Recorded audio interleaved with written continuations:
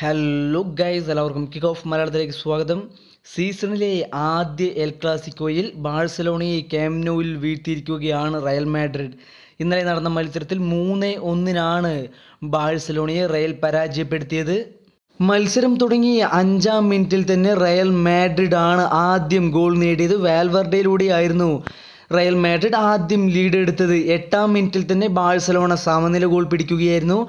ഫാറ്റിയാണ് ബാഴ്സലോണയ്ക്ക് വേണ്ടി സമനില ഗോൾ പിടിച്ചത്. ആദ്യ പകുതിയിൽ ഒന്നേ ഒന്ന് എന്ന നിലയിലാണ് കളി അവസാനിച്ചത്. രണ്ടാം പകുതി തുടങ്ങി. അറുപത്തി മൂന്നാം മിനിറ്റിൽ റാമോസ് പെനാൾട്ടിയിലൂടെയായിരുന്നു റയലിന് വേണ്ടി രണ്ടാമത്തെ ഗോൾ നേടിയത്. റാമോസിനെ പെനാൾട്ടി ബോക്സിൽ വീഴ്ത്തിയതിനാണ് referee V A R check ചെയ്ത് റയൽ മാഡ്രിഡിന് അനുകൂലമായ ഒരു പെനാൾട്ടി വിധിച്ചത് കിക്കെടുത്ത റേമോസ് അത് വലയിലേക്ക് എത്തിക്കുകയും ചെയ്തു. അതോടെ മത്സരം രണ്ട് ഒന്ന് എന്ന നിലയിലേക്ക് എത്തുകയായിരുന്നു. ബാഴ്സലോണ അതിനുശേഷം ഒരു സമനില ഗോളിനു വേണ്ടി ഒരുപാട് ശ്രമിച്ചുവെങ്കിലും ലക്ഷ്യത്തിലേക്ക് എത്തിക്കുവാൻ അവർക്ക് കഴിഞ്ഞില്ല.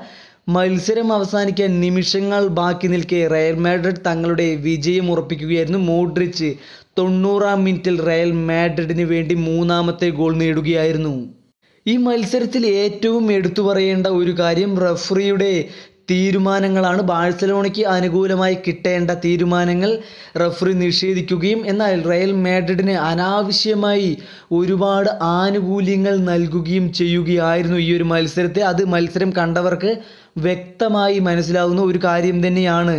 മെസ്സിയെ അടക്കം ഫൗൾ ചെയ്തതിന് റഫറി ഒരു യെല്ലോ കാർഡ് പോലും റയൽ മാഡ്രിഡ് താരത്തിന് കൊടുത്തില്ല. എന്നാൽ ആ ഒരു പെനാൽറ്റി റയൽ മാഡ്രിഡിന് കിട്ടിയത് അത് ഒരു അനാവശ്യമായിട്ടുള്ള ഒരു വീഴ്ചയാണ് റാമോസിന്റെ എന്നുള്ളതാണ് എല്ലാവരും അതിനുശേഷം മത്സരശേഷം എല്ലാവരും വ്യക്തമാക്കിയത്. അതായത് ഒരു പെനാൽറ്റിക്കുള്ള ഒരു വീഴ്ചയല്ല അല്ലെങ്കിൽ പെനാൽറ്റിക്കുള്ള ഒരു ഫൗളല്ല റയൽ മാഡ്രിഡിന് കിട്ടിയത് എന്നുള്ളതാണ് എല്ലാവരും പറയുന്നത്. റയൽ മാഡ്രിന് അനുകൂലമായിട്ടാണ് ഇപ്പോൾ റഫറിമാർ നിൽക്കുന്നത് എന്ന തോന്നലുകളാണ്. ഒരുപക്ഷെ ഒരുപാട് മത്സരങ്ങളൊക്കെ കാണുമ്പോൾ നമുക്കും തോന്നിപ്പോകുന്നത്. കാരണം അങ്ങനത്തെ ചില തീരുമാനങ്ങളാണ് റഫറി റയൽ മാഡ്രിഡിന് അനുകൂലമായിട്ട് തന്നെ എടുക്കുന്നത്. എന്തായാലും മത്സരം കഴിഞ്ഞു. ബാഴ്സലോണ ഇപ്പോൾ പരാജയപ്പെടുകയും ചെയ്തു എന്നുള്ളത് തന്നെയാണ് വാസ്തവം. പൊസിഷൻ നോക്കുകയാണെങ്കിൽ അൻപത്തി മൂന്ന് ശതമാനമാണ് ബാഴ്സലോണയുടെ പൊസിഷൻ.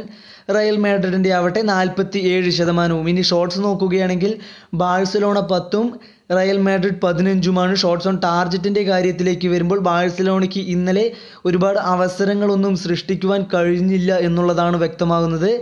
അതായത് നാല് ഷോട്ട്സ് ഓൺ ടാർജറ്റാണ് ബാഴ്സലോണയ്ക്കുള്ളത്. റയൽ മാഡ്രിഡിനാവട്ടെ ഒൻപതെണ്ണമാണ്. ഇരു ടീമിന്റെയും റേറ്റിംഗ് നോക്കുകയാണെങ്കിൽ ബാഴ്സലോണയുടെ ടീം റേറ്റിംഗ് ആറ് പോയിന്റ് ഏഴാണ് ഗോൾ കീപ്പറായ നെറ്റോ ആറ് പോയിന്റ് മൂന്ന് സെർജിനോ ഡസ്റ്റ് ആറ് പോയിന്റ് ആറ് ജെറാഡ് പി കെ ആറ് പോയിന്റ് രണ്ട് ലെങ്ലറ്റ് ആറ് പോയിന്റ് ഒന്ന് ജോഡി ആൽബ ഏഴ് പോയിന്റ് ഒന്ന് ഫ്രങ്കി ഡിജോങ് ഏഴ് പോയിന്റ് ഒന്ന് ബുസ്കറ്റ്സ് ആറ് പോയിന്റ് ഏഴ് പെഡ്രി ആറ് പോയിന്റ് രണ്ട് ലയണൽ മെസ്സി ആറ് പോയിന്റ് ഒന്ന് കുട്ടീന്യോ ഏഴ് പോയിന്റ് മൂന്ന് ആൻസു ഫാറ്റി ഏഴ് പോയിന്റ് ആറ്. അദ്ദേഹത്തിനാണ് ഇന്നലെ ബാഴ്സലോണയിൽ ഏറ്റവും കൂടുതൽ റേറ്റിംഗ് കിട്ടിയിരിക്കുന്ന താരം. റയൽ മാഡ്രിഡ് താരങ്ങളുടെ റേറ്റിംഗ് നോക്കുകയാണെങ്കിൽ അവരുടെ ടീം റേറ്റിംഗ് ഏഴ് പോയിന്റ് മൂന്നാണ്. ഗോൾ കീപ്പറായ കോട്ടുവ ഏഴ് മെൻഡി ഏഴ് പോയിന്റ് മൂന്ന് റയമോസ് എട്ട് പോയിന്റ് ആറ് വരാനെ ഏഴ് പോയിന്റ് രണ്ട് നാച്ചോ ആറ് പോയിന്റ് ആറ് വാൽവർഡെ ഏഴ് പോയിന്റ് ഒൻപത് കെസമേരോ ആറ് പോയിന്റ് അഞ്ച് ക്രൂസ് ഏഴ് പോയിന്റ് ഒൻപത് വിനീഷ്യസ് ജൂനിയർ ആറ് പോയിന്റ് മൂന്ന് ബെൻസിമ ഏഴ് പോയിന്റ് രണ്ട് മാർക്കോ അസൻസിയോ ഏഴ്. ഇനി സബ്ബിറങ്ങിയ താരങ്ങളുടെ റേറ്റിംഗ് നോക്കുകയാണെങ്കിൽ വാസ്കസ് ഏഴ് പോയിന്റ് രണ്ട് ലൂക്ക മോഡ്രിച്ച് ഏഴ് പോയിന്റ് എട്ട്. ഇതാണ് റയൽ മാഡ്രിഡ് താരങ്ങളുടെ റേറ്റിംഗ്. എന്തായാലും സീസണിലെ ആദ്യ എൽ ക്ലാസിക്കോ ഇപ്പോൾ കഴിഞ്ഞിരിക്കുകയാണ്. റഫറിമാരുടെ തീരുമാനങ്ങൾ മത്സരത്തെ തന്നെ മാറ്റുവാൻ കഴിവുള്ളതാണ് എന്നുള്ളത് ഈ ഒരു മത്സരത്തിലൂടെ മനസ്സിലാക്കേണ്ട ഒന്ന് തന്നെയാണ്. കൂടുതൽ വാർത്തകൾക്കായി സന്ദർശിക്കൂ. Kick off Malayalam.